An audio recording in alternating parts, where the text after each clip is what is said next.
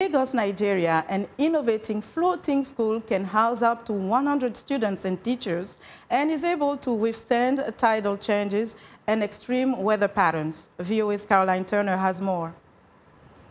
Nicknamed the Venice of Lagos, Nigeria's Makoko slum is home to nearly 100,000 people. Residents are mostly fishermen living on stilts in the lagoon and moving between their houses by canoe. Last November, a new school opened in the slum and enrolled 47 students. It's called the Makoko Floating School. The movable building is shaped like a pyramid and has an eco friendly construction. It was built with recycled empty plastic barrels, locally sourced bamboo, and wood procured from a sawmill.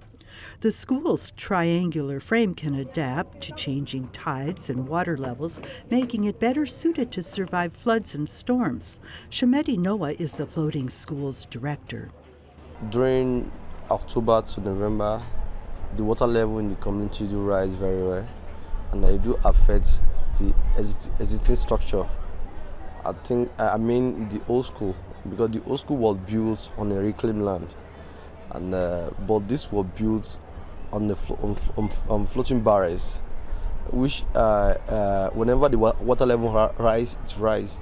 And, when, and whenever the water level goes down, it goes down. Local government officials took notice and now plan to incorporate the floating school's design in other districts. Pupils give the floating classrooms two thumbs up too. I have never seen any school floating on water before. This is the only one that I seen. That is why I forced my parents to take me to this school. I like this school.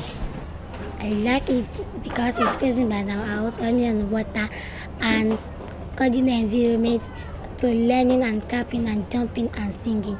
The slum was designated for demolition in 2013, which would have left many homeless. Luckily, the floating school has brought global attention to the plight of the Makoko and the precious gift of education to these children.